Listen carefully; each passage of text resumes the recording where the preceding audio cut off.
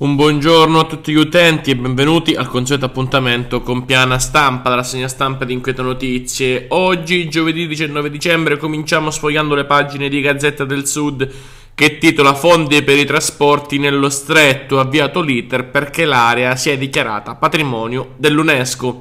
In alto San Pietro di Carità accoltella suo fratello e finisce ovviamente in carcere all'interno di Gazzetta del Sud. Abbiamo qualche problema con la visualizzazione di una immagine. Vediamo se riusciamo a risolvere questo problema. Ora pure la pallavolo darà un contributo per celebrare la varia con un torneo femminile nelle città delle feste, l'articolo di Arcangelo Badolati e poi c'è la foto della squadra di pallavolo di Palmi che affronterà le scuole di pallavolo delle altre città entrate nella rete delle macchine a spalla.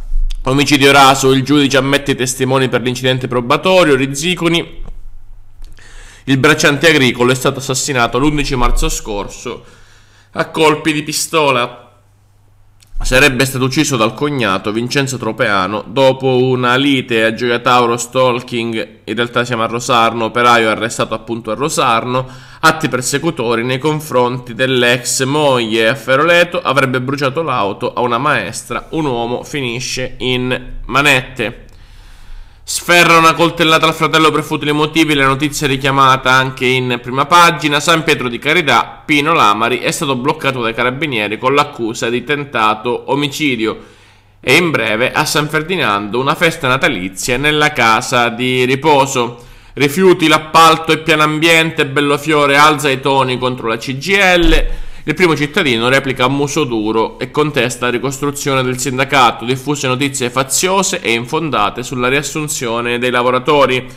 A Rosarno il centro per riempiego riapre un servizio importante, uno sportello di assistenza e informazione. E a Cittanova sui tributi del comune l'assessore D'Angeli replica a Fera. San Ferdinando, il Consiglio non riflette la volontà degli elettori, questa è l'analisi dei consiglieri Costa e Oliva. Torianova rivolta contro la stangata, ecco tutte le ingiustizie della Tares, maggiorazione iniqua, ignorate i servizi e le conseguenti riduzioni. I cittadini stanno ricevendo gli avvisi di pagamento, ma le scelte del comune non convincono. Palmi, assolto dall'accusa di rapina e condannato per favoreggiamento, la sentenza della Corte d'Appello e a Palmi al processo i motivi della rissa e l'omicidio del Ganese. Torianova ha rimosso il cavallo morto e lasciato sulla strada, notizia che aveva interessato in questi giorni tutta la comunità al cavallo che era rimasto, eh, la cui carcassa era rimasta priva di vita da oltre 5 giorni sul ciglio della strada provinciale che collega Torianova con Polistena. Passiamo alle pagine del quotidiano della Calabria, Parchi e Mazzette in otto a giudizio. La decisione del GUP di Catanzaro sull'affare eolico. Sotto processo anche Nicola Adamo, ex vicepresidente della regione. Piano ambiente, scontro sul bando, dopo la CGL anche l'opposizione all'attacco del sindaco di Gioia. Consiglio urgente per chiarire le modalità e i criteri di attuazione del servizio rifiuti. La replica del sindaco, lavoratori svantaggiati, non è vero che manca la clausola di salvaguardia. Gioia tavolo, il comitato Fiume vuole Aldo Alessio, primo cittadino, petizione online per la candidatura. Torni alla guida della città contro la povertà e per il lavoro gli appuntamenti a Cittanova, il lato 2 del Natale.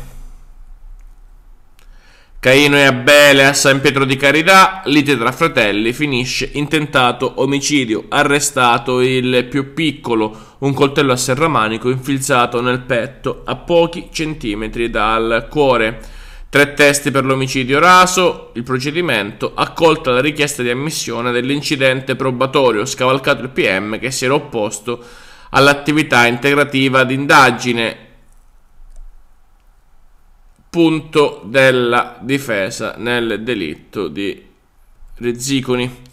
Brevi, in carcere per stalking a Rosarno, a Molochio armi senza autorizzazioni e a Feroleto incendio auto finisce in cella. Queste alcune notizie di cronaca. Botta e risposta sui tributi, Cittanova, l'assessore D'Angeli, replica a Fera. Comodato d'uso, indirizzi recepiti solo a Cittanova. E infine il concerto, l'orchestra di Laureana suona per i detenuti del carcere di Palmi, iniziativa alla casa circondariale. Anche oggi non è giunta in redazione la copia dell'ora della Calabria, per cui termina qui questa edizione di Piena Stampa che torna domattina alle 8.30, come sempre subito dopo il caffè.